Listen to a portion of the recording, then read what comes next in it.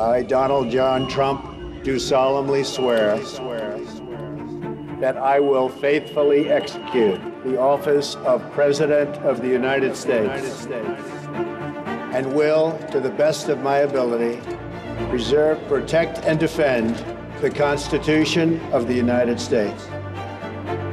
So help me God. Velika iluzija. Amerika. Prvi dio. Srijeda, 17.5 na Al Jazeera.